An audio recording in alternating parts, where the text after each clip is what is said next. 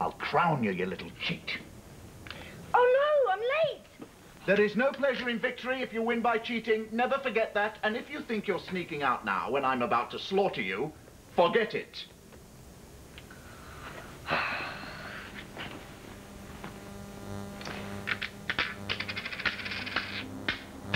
Oh. Perhaps tomorrow you can teach me to play chess. Thank you.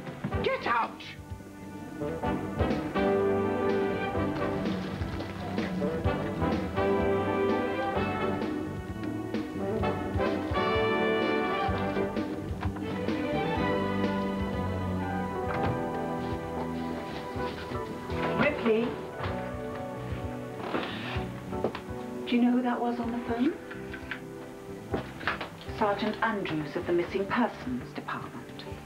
He wasn't able to tell me your whereabouts. Perhaps you are. I was at Jeremy's house.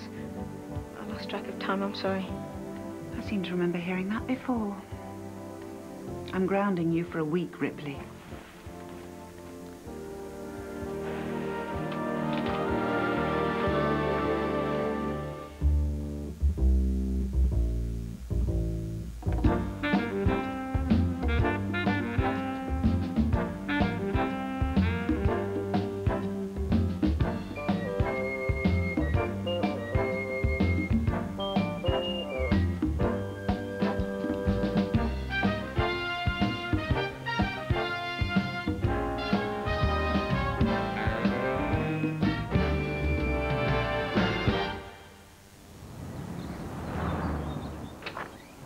May I help you? I hope so. You're Grant Logan? The legend in the flesh. But don't be intimidated. My name's Bruce Davies. I received a threat yesterday evening. A threat on your life? No, on my car. I own a vintage Rolls-Royce. I spent a fortune restoring it to Concours condition, and I'm entering it into the Waterbury Concours d'Elegance tomorrow. Hmm. Hmm. What do you make of it? There's no doubt in my mind that this is a threatening letter. Excuse me. It says, if you love your Rolls Royce, remove it from the Waterbury Concours. If you don't, your car will never be the same. Take this threat seriously. Sounds like another competitor in the Rolls-Royce class. Tell Mr. Davies you'll have to supervise the car's transport to the show and talk with the other Rolls-Royce owners. Shouldn't be too challenging. It shouldn't be, but But what? you're on your own this time. What? My mum, she... Well, To whom am I speaking? Oh, it's Jeremy, Mrs. Hilliard. Oh, your friend has been grounded. He isn't allowed to leave the house or talk to his friends on the phone for one week. I would like to speak to your mother, Jeremy. Will you fetch her, please? My mummy can't come to her phone at the moment, Mrs. Hilliard. She's pruning the azaleas. Well, call her inside. This is important. She's pruning the azaleas in France. She's staying at Aunt Sylvie's house for a week. Sorry. He's hung up on me. The author of your threat letter is another entrant in the Rolls-Royce class of the car show. Someone is trying to scare you out of entering because you might ruin their chances of winning. So you think I should drop out of the competition? Not at all. I will personally make sure that your car arrives and departs the show in complete safety.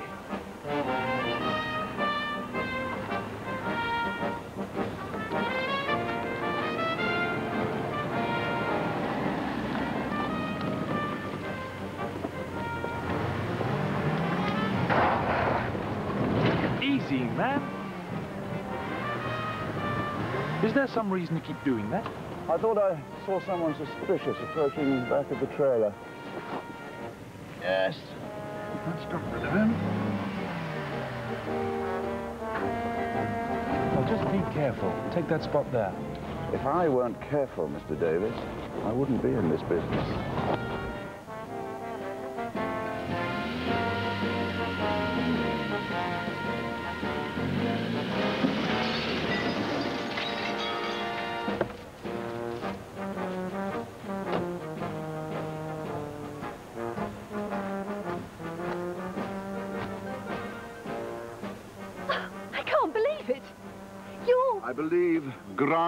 And Logan are the words you're searching for.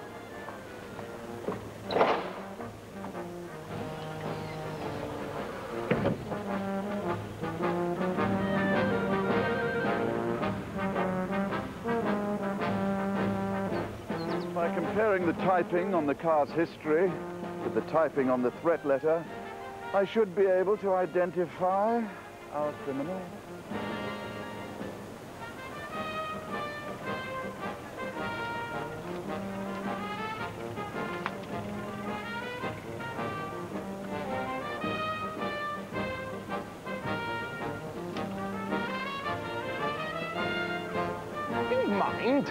My car.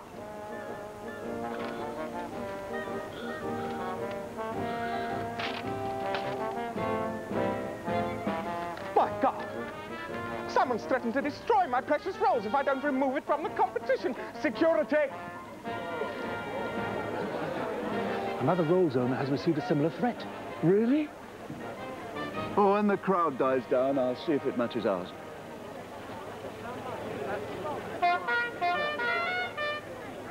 Oh, no. Say it isn't true. Say it's just a nightmare.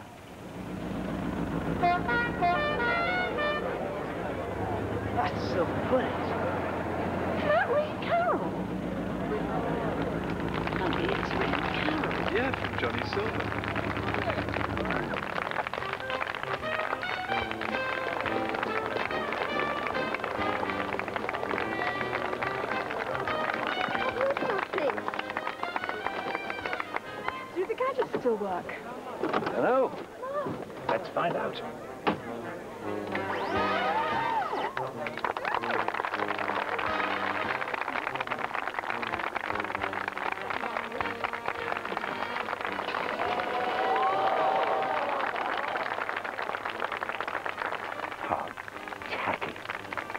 Has the man no pride?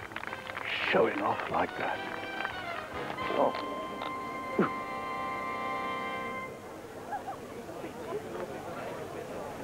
Grant? Grant Logan?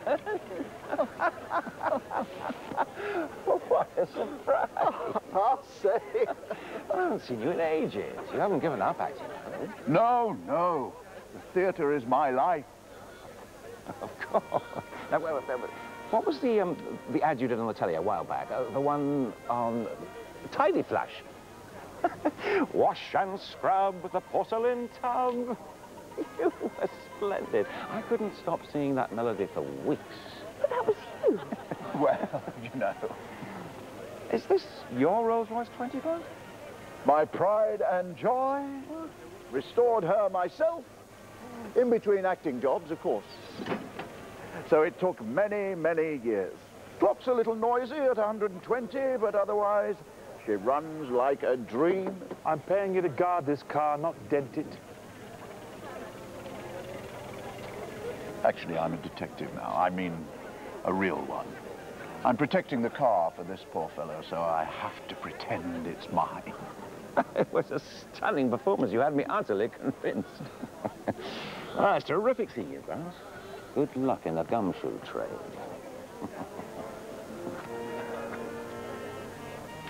Very nice meeting you, Mr. Lloyds, Nicholas Lloyds.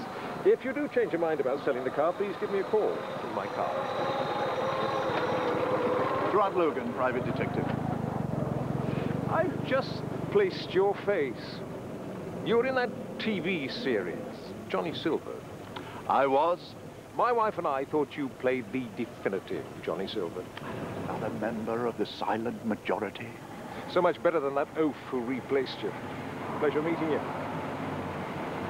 I'm driving the rolls back home. I'll meet you back at the house with the trailer. Sir, I must insist you do not. There is a madman loose who intends to destroy your car.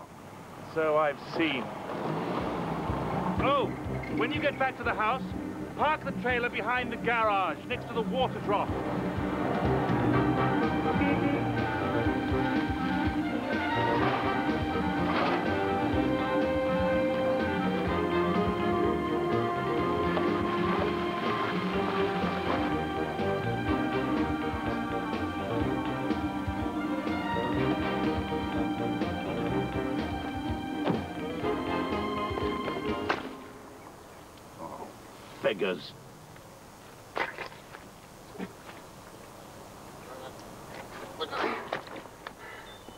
Come round inside and I'll write you out a check. Good heavens, look at you. My wife will throw a fit if you tread mud in her kitchen. Stay where you are. How much do I owe you? Um, hundred pounds. A hundred pounds. Plus fifty for expenses. A hundred and fifty. For expenses, yes, and a hundred for my fee.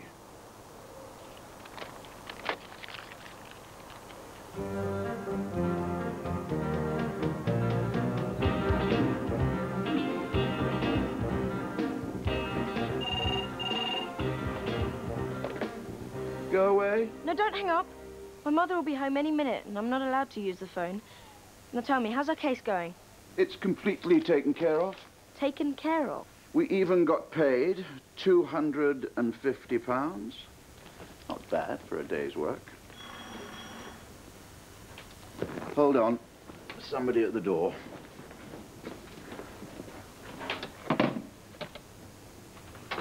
Yes? Investigator Hinks, Grey Shot Insurance Company. Not interested. I'm fully covered. Are these yours, sir? I've been looking everywhere for those. Thank you very much. Oh, yes, of course. Sorry. May I come in, please, Mr. Logan? There's a couple of questions I'd like to ask you. Regarding what? Sometime yesterday, between 3 and 5 p.m., Reed Carroll's trailer was broken into. His car, the Silver Bullet, insured for half a million pounds, was stolen. What?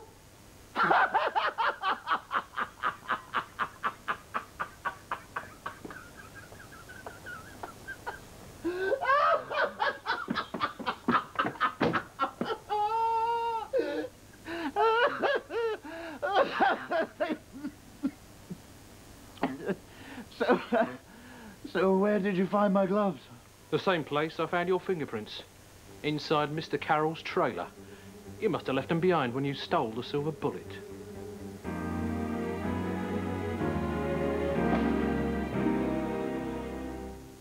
You think that I stole the silver bullet? No, I'm sure you can explain how your fingerprints and gloves ended up inside a locked trailer to which you didn't have the key.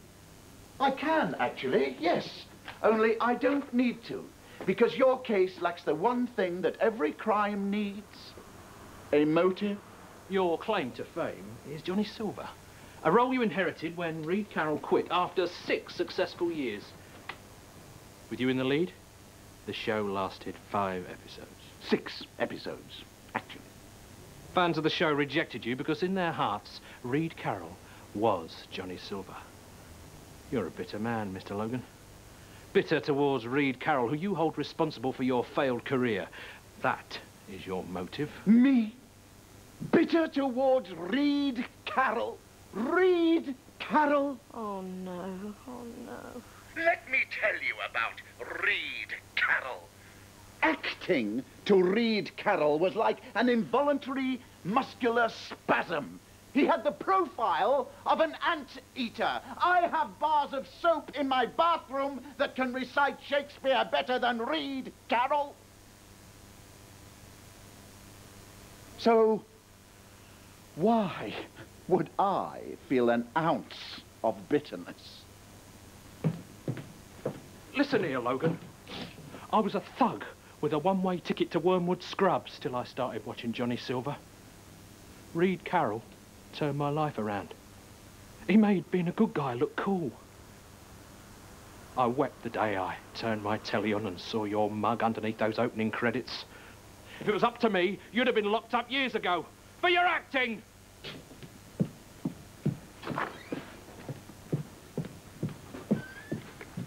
Rip, what shall I do? Don't talk to anyone until we've figured out who's trying to frame you. Isn't it obvious? Obvious to you and obvious to me are two different things. Reed Carroll stole his car for the insurance money and tried to pin it on me. Whatever you do, don't go to his house. If you break in, you'll only further incriminate yourself. I'm going to prove it.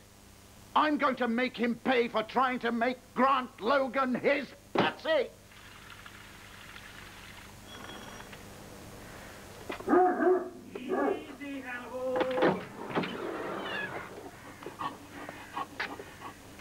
Good afternoon, and God bless you, Mr. Carroll. My name is... Grant, what a surprise.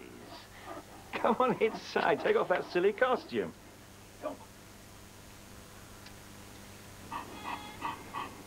So, what's with the costume? I came straight from the set. You gave up acting, I thought.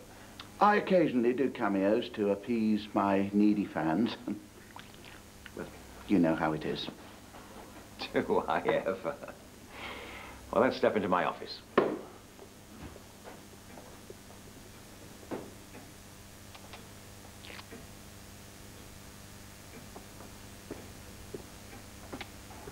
May I offer you some caviar? Have you? Uh, no, thank you. It's beluga. Cost me a hundred pounds a spoonful. I have it flown in from Russia by private jet. I can't stand the stuff. You know, it's funny you should have stopped by. I've been meaning to call you. Get some acting pointers, I suppose. I want to hire you to find my car. Really? That's interesting. I would have thought that the insurance company had appointed an investigator to the case. Oh, yes. But these insurance people don't respect my privacy. Their starstruck demeanor irritates me. The way they fawn all over me, you know how that is. It can be tiresome, yes. Yeah, Well, I- I'm confident that you will respect my privacy, having been in the limelight once yourself. You know, I... I have to confess something. I envy you, Grant. Yes, well, you know. I sometimes wish I could slip into complete anonymity the way you have. Sorry, careless of me. Doesn't stain. Hello? Just keep calm. No, I'm not ready to speak with your people. Uh, Do you mind if I take this next door? No, no, take your time. Time.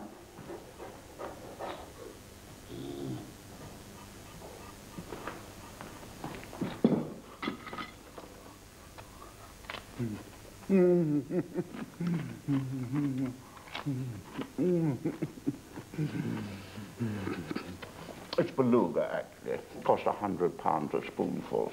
I hope it spawns in your gut and has to be surgically removed.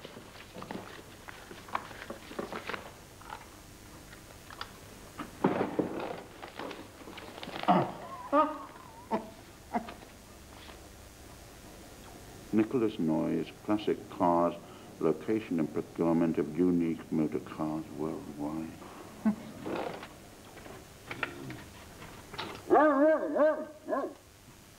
Shush, mongrel. Call off your wolves, Barbara. I'll have the money in a couple of days. If you don't, I'm selling the details of our amicable little divorce to the tabloids.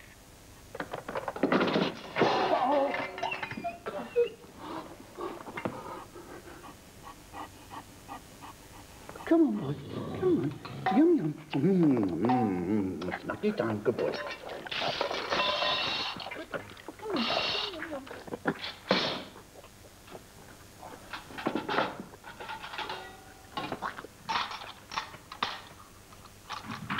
Sorry. Things have become a bit strained between me and the ex-Mrs. Carroll. Sounds it. I mean, it sounds it. By the wavering tone of your voice, it denotes the confusion and sense of loss you must feel. You know, you have a really keen eye for this line of work. I hope you'll accept my offer. I'd do anything to get the silver bullet back. Good heavens. What's happened to all the caviar? Oh, I tried it and found I couldn't resist it. Hope you don't mind. Oh. no, not at all. No, I, I was worried that Hannibal had nicked it. He's terribly oh, allergic to seafood. What happens if he eats seafood? All goes right through him, like a cannonball. In one end, out the other.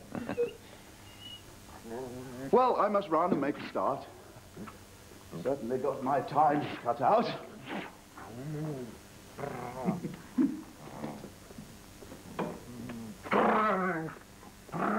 Hannibal, what are you doing? My 50,000 pound Persian carpet!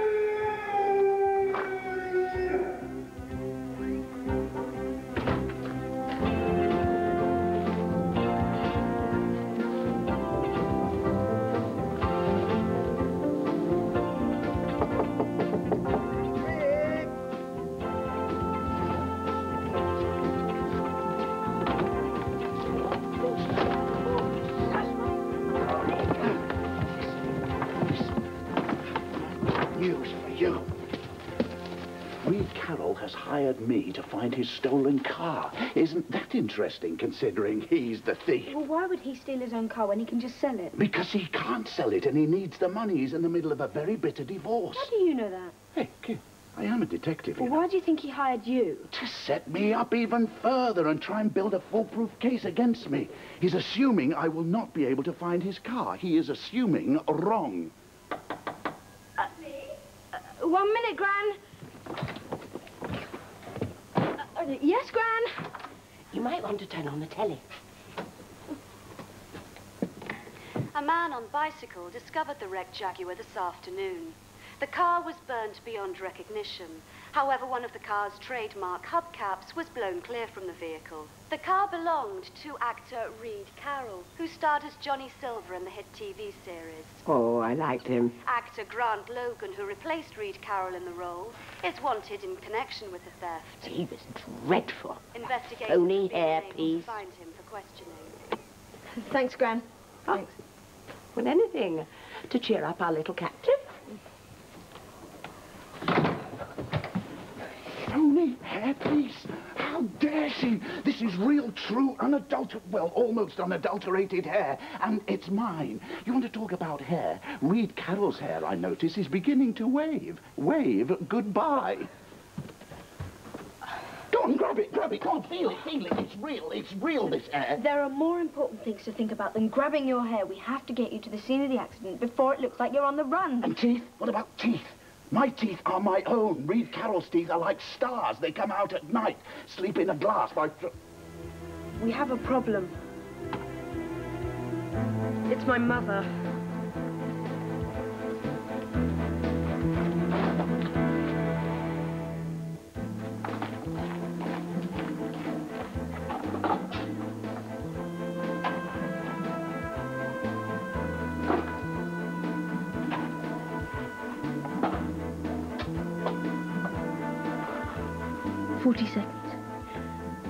20 seconds to climb down the vine and cut across the front.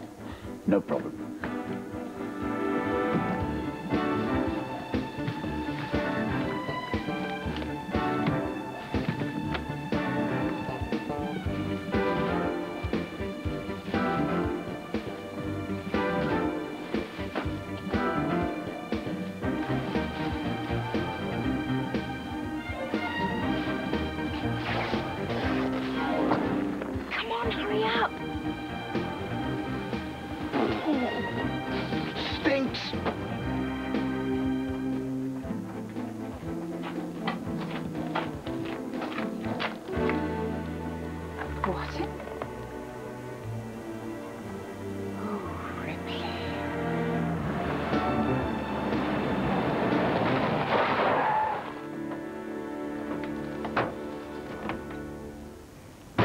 Grant, good to see you.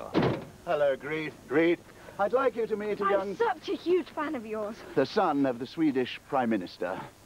The boy's my ward for a week. Doesn't speak a word of English, except for that bit, which he learned when he heard that Grant Logan was to be his custodian. Goddag. Trevlik atrepas. Skull. Do you smell something? No, no. You're all right. Mr. Hinks, well, has your brilliant crew solved the crime yet? Oh, you'll know when that happens. You'll be in prison. Where's that wretched stench coming from? Grant, what do you make of all this? Well, one thing's for sure. Money was not our culprit's motivation. No, no. What we have here is the sociopathic variety of criminal. Whoever did this is a man for whom destruction is a sick thrill. Stay out of this area. The suspect's footprints are in this perimeter. I knew that. Our culprit is plagued by hateful thoughts, obsessed with vengeful feelings for Reed Carroll, haunted by this man's very name and face. The footprints. The ones the suspect made in the mud. The footprints. The footprints are those of the suspect. As you see, not a very bright individual, seeing how carelessly he has left easily traceable tracks, evidence no. of no. his presence at the scene of the crime. No. And then again, perhaps not. Au contraire, perhaps he is a very bright individual indeed. Cavalier, in fact, brazen in his confidence that he will not be caught, thriving on the cat and mouse game.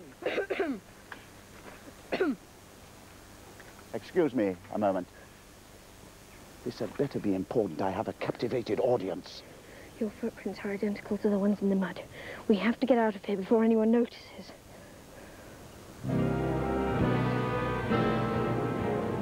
My young ward has just informed me, in Swedish, that he is late for his herring fishing class. I shall see you all again soon. Until then, good day. Sir, his footprints match the ones in the mud. Stop him!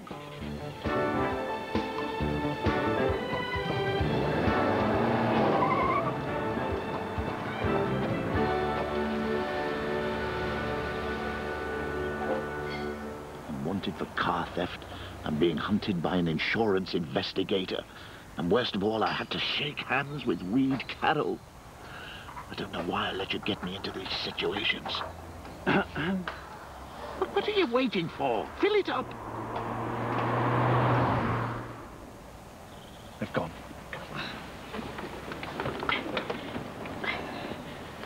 Anyway, you got into this on your own. I didn't destroy the silver bullet.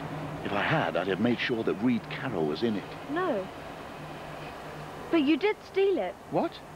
Someone switched the car towing your trailer with the car towing Reed Carroll's trailer, then switched the license plates. That's why your monogrammed gloves and your fingerprints were found inside. Because Reed Carroll drove Bruce Davies's empty trailer and not his own. I knew I'd come up with a logical explanation. I just needed to think about it. Now all we have to do is prove you're innocent. What do you mean, we? I've just figured out how the theft was done. Don't you think you ought to do a little bit of thinking around here, too?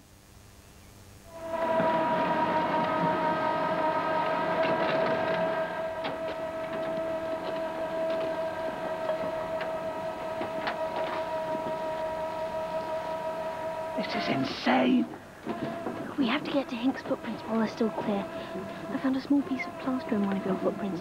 Davies must have somehow got moles of your soles and stamped them around the car. That's why he had me park in the mud by the water trough. Now, if we can do the same to Hinks, we can prove you were framed. Start mixing the plaster. Water. Plaster. Might as well just dip it all in, make it nice.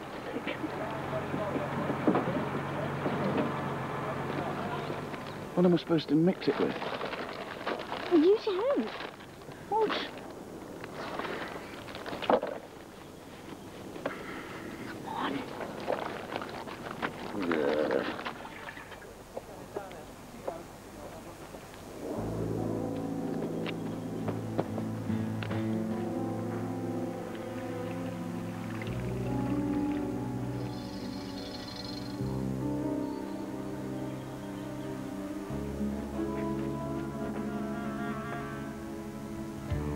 Take too long. Gotta get home. Yeah, well, your mother won't even know you've left. Anyway, you've been grounded. What's she gonna do? Cut out your meals? It's not that that I'm worried about. It's just she'll get all weird and think she's a failure as a parent. That's the worst. Oh, yeah. My mum was like that. Whenever any of my brothers or sisters got into trouble, she'd always blame herself, think she'd ruined them. Bet they turned out all right, though. Well, one brother's a bookie, the other's got his own account at the prison tuck shop. My elder sister, she's a dancer.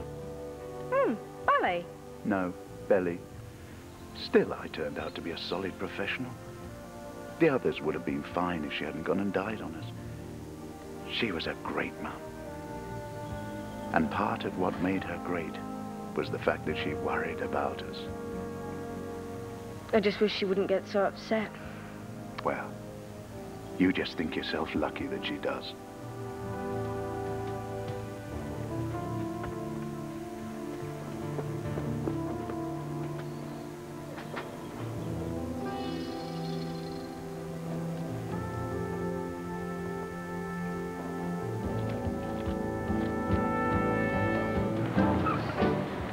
Call Hinks and have him meet us at Bruce Davies' house at 9 a.m. tomorrow morning.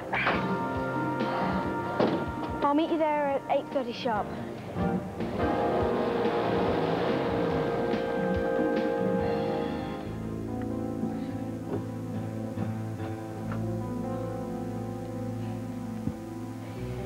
Well, it's nice to see you're still alive. I can explain. Yes, I'm sure you can. What should I do, Ripley? Do I need to be more strict? Should I just not worry about you? It's not you, Mum. Well, I'm obviously doing something wrong. Maybe you need something that I can't give you. I don't think so.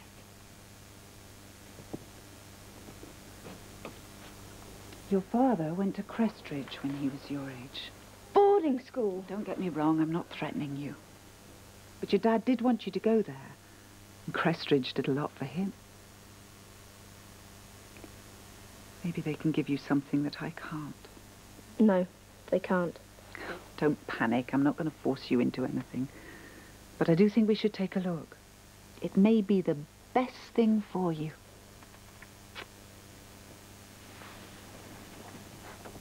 In the meantime, you're under house arrest.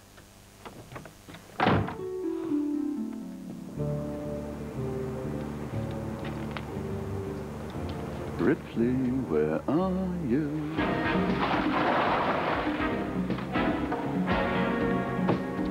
Thank you for coming. You're welcome. Taking you in. Get in the car. I think not. You don't have an ounce of evidence, and I'm here to prove it. Oh, really? Investigator Hinks, have you ever visited these premises before? No. And you have no history of sleepwalking? Then will you kindly explain to me why your footprints appear on the other side of these gates?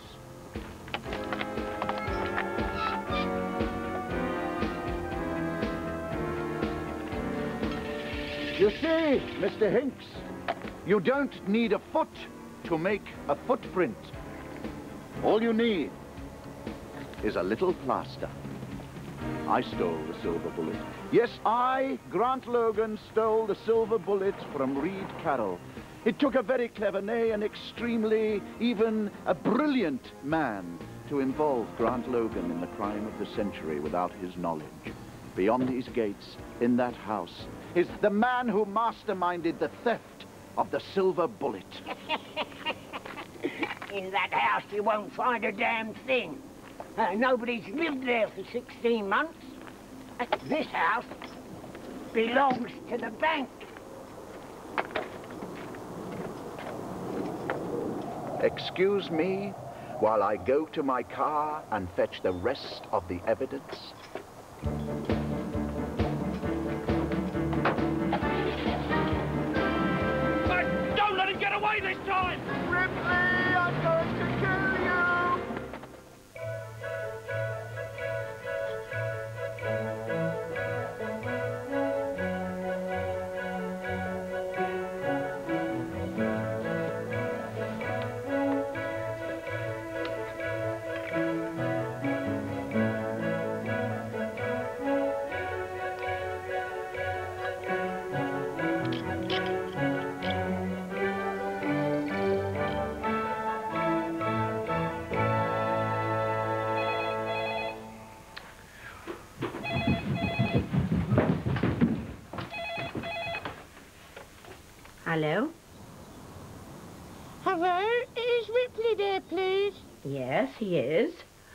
But he isn't allowed to use the phone. Is this Jeremy? Yes, it is, and this is an emergency. Well, it'll have to wait till next week when Ripley's finished doing his time. No, no, you don't understand. This is a really, really big, big emergency. It's a life or death situation. If he doesn't come to the phone, I'll kill him. Don't let your mother know I let you talk to him. Hello, Jeremy. Where were you? I couldn't get out. Mum caught me sneaking in the house. She's thinking of sending me to boarding school. Yes, well, they're thinking of sending me to prison. Didn't the plaster molds work? It worked brilliantly. Except Mr. Davies doesn't live in Mr. Davies' house anymore. In fact, I, I don't even think that that's his real name. Calm down, all right? Where are you now? I'm in a phone box by my flat. I can't get in because Hinks has posted his goons outside. Okay, wait there. I'll meet you when I can. In the meantime, I want you to phone every junkyard in the phone book and find out which ones have sold wrecked green Jaguars recently.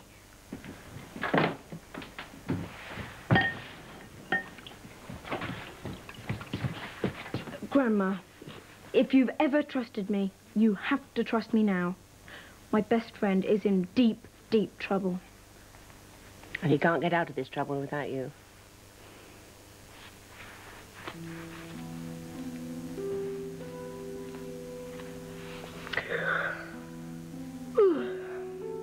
I think I'll take a nap. It's a pity, but I probably won't see or hear a thing while I'm asleep. You're the best, Grandma.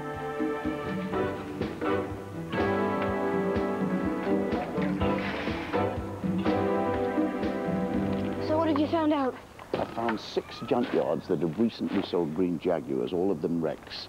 Uh, I've written down here the addresses they were delivered to. Now, will you please tell me why you were suddenly so interested in green Jaguars? Where did you get these cards?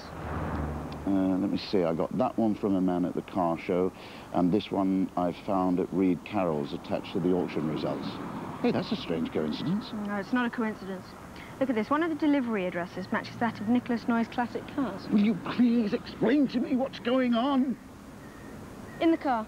Make sure you drive past your apartment. I just told you Hinks has his men posted outside. Exactly. Make sure they follow us to that address.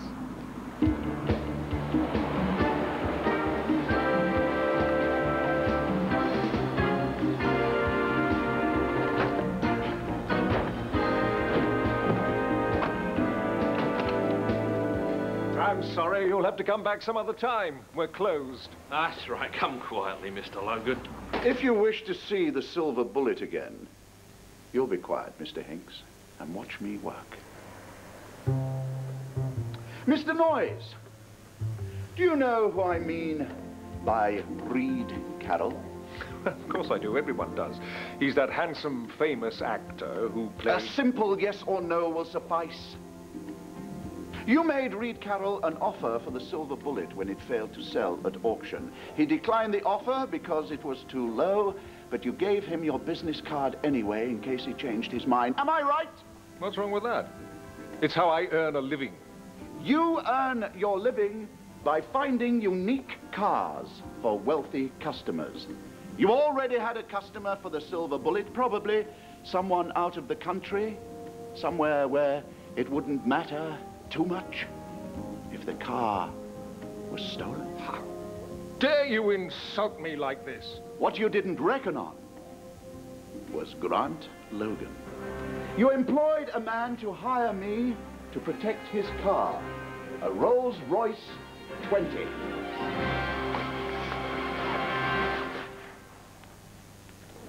A car, in many ways, not uh, dissimilar to this one. When the show was over, Reed Carroll locked the silver bullet in the back of his trailer, and somehow you lured him out of the parking lot. That gave you enough time to switch cars on the identical trailers. I'm not going to stand here and listen to this rubbish. Sit down then! When Reed Carroll returned, he drove away with an empty trailer. I, on the other hand, towed away the trailer containing the silver bullet, also unaware that the cars had been switched. What about your fingerprints and gloves? I was in the empty trailer, helping to secure the car I had been paid to protect. As Mr. Hinks will tell you, I had the perfect motive. Bitterness and jealousy. Well, perhaps I was jealous and bitter, but not anymore. Because I have realized that Reed Carroll and Grant Logan have a mutual respect for each other's talent. And perhaps, perhaps Reed Carroll did give his fans the definitive Johnny Silver. And Reed Carroll also realizes that there is only one detective brilliant enough and find the silver bullet intact. Yes, I said intact.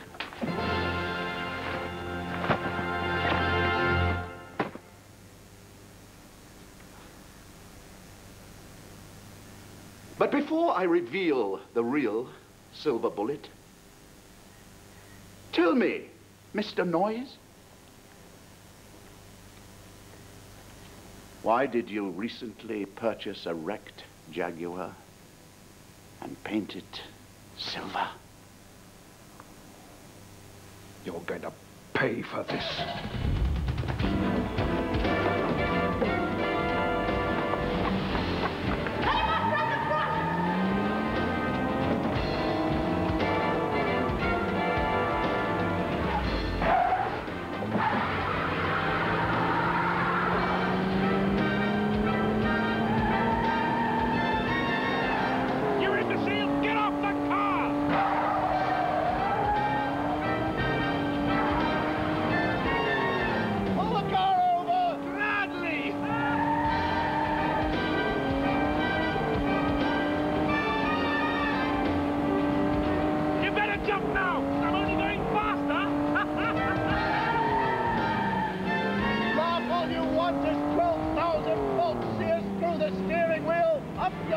And down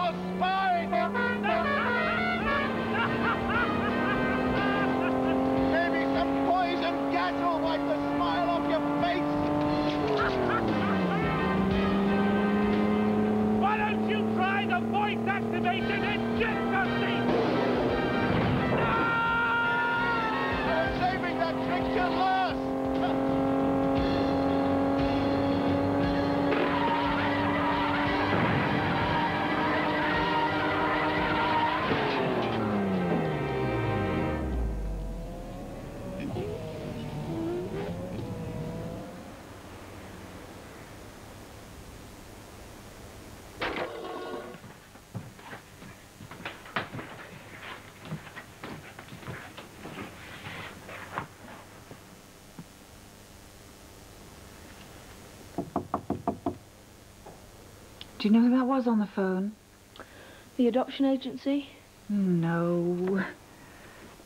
I just had a very long talk with Mr. Mayor. Who? Jeremy's father. Oh. Of course. You should have told me. I would have understood. You would have? Of course I would. I blame myself, really. I should have trusted you more. I'm proud of you, Ripley. I hope you'll accept my apology. Apology accepted. Um, so I assume this means... You're not grounded anymore.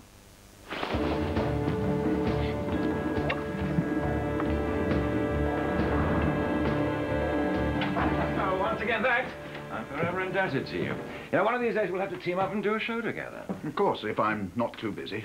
Oh, of course, of course. Hey, Ericsson biscuit. Skull. What did you tell my mother? Uh, you mean? What did Jeremy's father tell your mother? I've been going through this terrible divorce. Poor Jeremy's been caught right in the middle. And I don't know what he'd have done during this dark and tumultuous episode of his life if it hadn't been for dear Ripley. What a wonderful mother you must be to have such a kind, mature son. I owe you one. Yeah, well, join the queue. You know, I think I misjudged Reed Carroll. We're actually quite similar in many ways. And when you see yourself reflected in another person, you do tend to see their faults more easily. How true. Seen the evening paper yet? Grant Logan and Reed Carroll in The Brothers Karamazov. it was his idea. In a car chase that would be extraordinary, even by TV standards, Reed Carroll heroically drove his stolen car to safety, blowing the lid off the silver bullet mystery. Reed Carroll? Reed Carroll couldn't blow the lid off a teapot! You want to talk mysteries? What about Reed Carroll's acting? Ha!